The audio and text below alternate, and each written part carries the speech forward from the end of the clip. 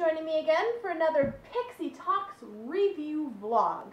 Pixie Talks, Pixie Talks, reviews and vlogs at Pixie Talks. Well, it looks like we'll be starting 2014 off with a bang as far as awesome animated spectacles go. Everyone's in a buzz, and for good reason. I got to go see the Lego movie in theaters last week, and oh goody, I just can't wait to talk about it!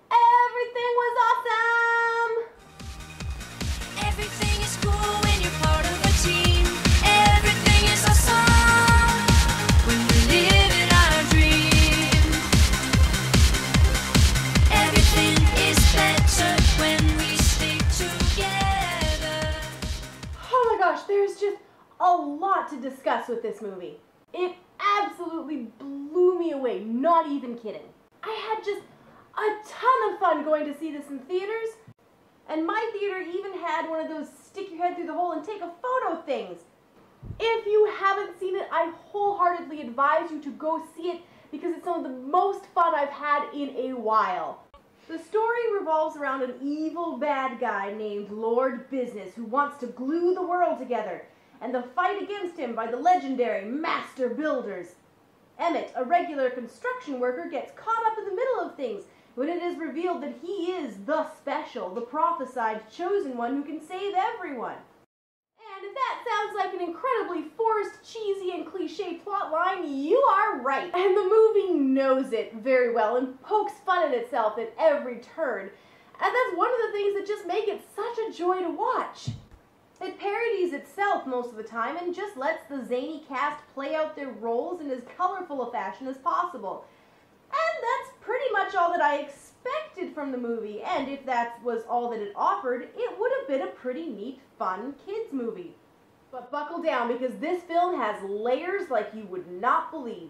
Under the surface of fun parody romp, this movie is actually a massive social commentary. And there are so many threads and ideas being woven into it that it will totally throw you for a loop if you aren't expecting them. Let's start with the fact that it portrays a society that has been so overrun by mindless consumer culture when it itself, on the surface, is as completely consumer driven as it could possibly get taking into consideration the already mentioned tired and overused plotline, plus the fact that it is a Lego movie.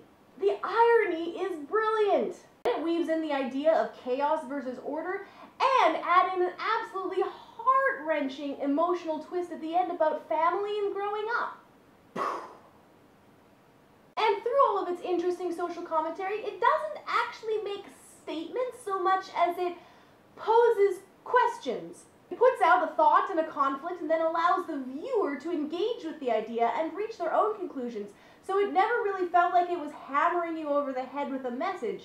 Add to that some amazing visuals! Just look at this movie! This is everything you could ever ask for in a movie comprised of Lego pieces. It's so detailed, it looks like a hobbyist's master project, which is maybe a bit of foreshadowing. Now this is all done in CGI, made to look like stop motion, and my word, it totally looks like stop motion!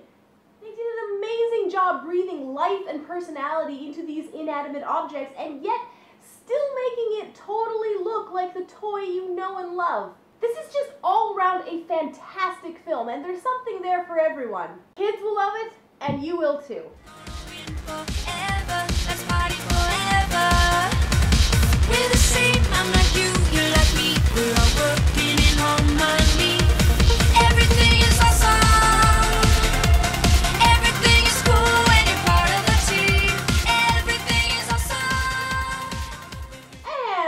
It for my review of the Lego movie. Thanks for watching, and please be sure to subscribe for more. You can add me on Facebook and Twitter, and I'll see you guys next week. Have you heard the news? Everyone's talking. Life is good cause everything's awesome. Lost my job, that's a new opportunity. More free time for my awesome community. I feel more awesome than an awesome